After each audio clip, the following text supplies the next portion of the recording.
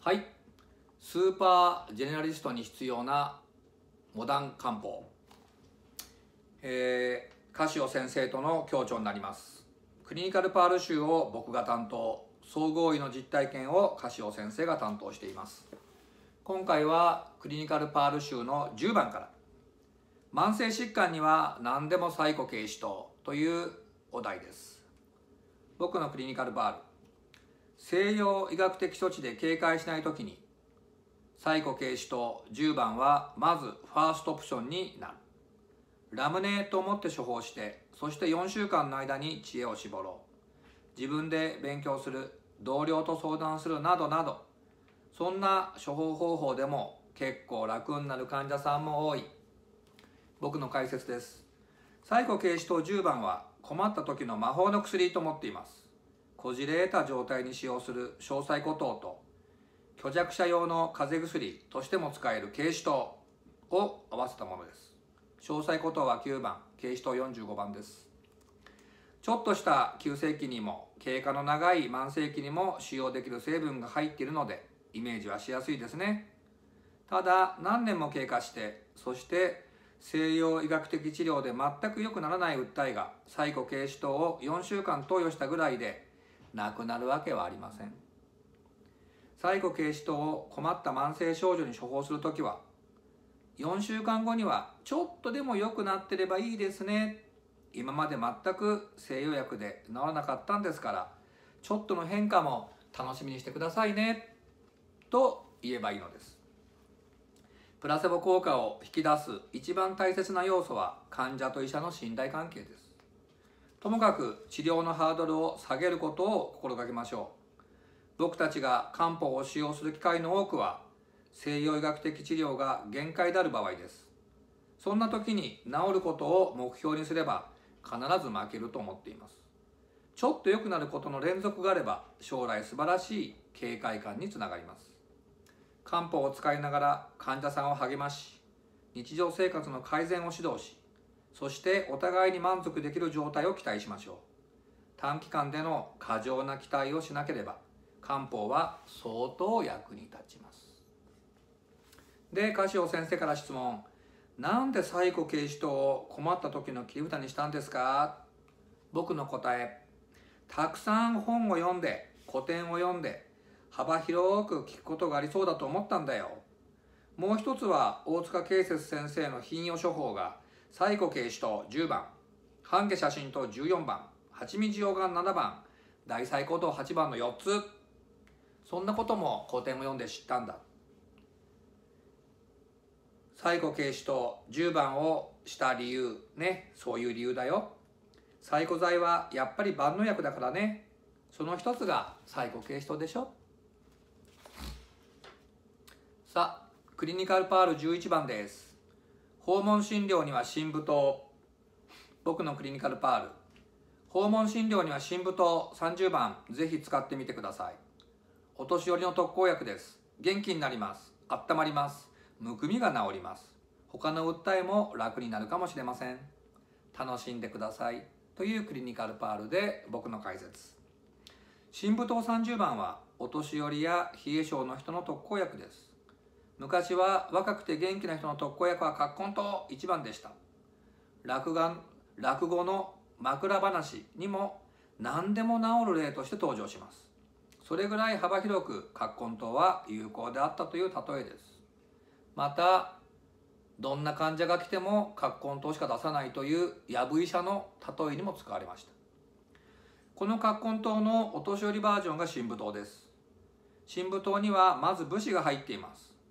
武士は猛毒で有名なトリカブトを原毒したもので鎮痛作用や温める作用があります。そしてむくみを取る生薬である伏量や槍術が入っています。お年寄りには魅力的ですね。だってお年寄りはあちこちが痛いと訴え体温は低めです。そしてややむくんでいる人も多いですね。万能薬と思って新舞踏を4週間処方してみてください。また肝臓は入っていません。肝臓の飲みすぎはギアルドステロン症になります。足がむくんで血清カリウムが低下してそして高血圧になります。お年寄りでは高圧剤を飲んでる方が多いのでちょっと嫌ですね。そんな心配をしない新舞踏僕は大好きです。何か訴えるお年寄りに処方で困ったら新舞踏を試してください。カシオ先生から質問が飛んできます。葛根当医者の枕話教えてもらえますか？僕の答え。僕が持ってる落語の CD からでいいよね？葛根湯はいろんな病に効くという話だよ。飲むと体が温まるそうだ。お前どうしたんだ？どっか悪いのか？先生ねあっしゃ頭が痛くてしょうがないんですよ。ああそれは頭痛だ。葛根とあげるから。それお上がり。先生あっしゃ腹が痛いんですよ。それは腹痛だ。葛根とあげるからお上がり。先生あっしゃ足が痛いんですよ。それは足痛だ。葛根とあげるからお上がり。そして先生足はつき添いなんですけどああお前にも葛根とあげるからお上がりっていうようなストーリーでした。何でも聞くという例えで葛根湯のいい意味も表していますしやぶ医者っていうことをある意味ね比喩したという話でもあります。さてクリニカルパール12クリニカルパール12です。疲れには補中液糖という込み出しで僕のクリニカルパール。漢方の魅力は乱暴寝方をすれば何でも治ること。治したい主症状に対する漢方薬が思いつかなくても別の切り口から治療できるということ。どんな主症状であろうが患者さんが疲れを訴えれば補中液糖が候補になる。というクリニカルパールです。さて僕の解説。乱暴な言い方をすれば漢方薬は何でも治せる可能性があります。漢方薬は生薬の足し算にてそして生薬にはいろいろな薬効成分が入っているので多様性があります。多成分系です。可能性があると言われればそんな気もしてきます。患者さんの訴えに応えられる漢方薬が思いつかない。またはたくさんの訴えを患者さんがしてどうしていいかわからない。そんな時に疲れをキーワードに補中液と41番を4週間処方してみましょう。4週間後に疲れがなんとなく楽になったと言われれば続行です。そしていずれ症状は全体に良くなってきます。朝鮮人参と奥義を含む漢方薬は腎義剤と呼ばれます。保険適用漢方エキス剤で腎義剤は補中液と41番。従前大補と48番。人参用 A と108番。大房風と97番。気比と65番。上気比と137番。聖書液と136番。陶器と102番。精神連心111番半下白術天魔と37番があります。患者さんにはユンケル肯定液の漢方バージョンだよと説明しています。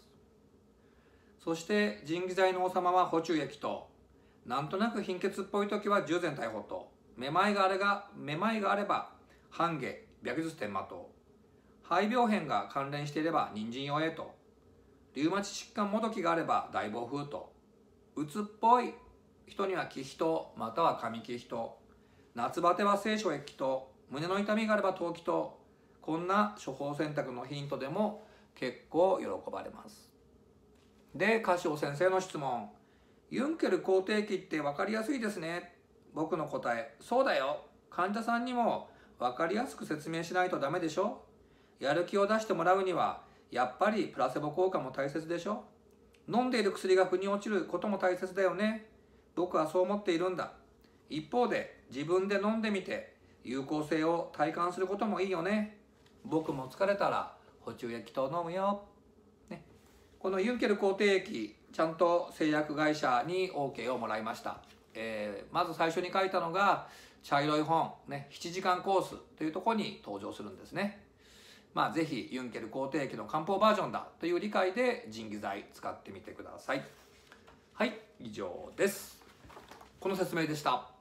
スーパージェネラリストに必要なモダン漢方。ね。この解説をしました。またこの後も続きます。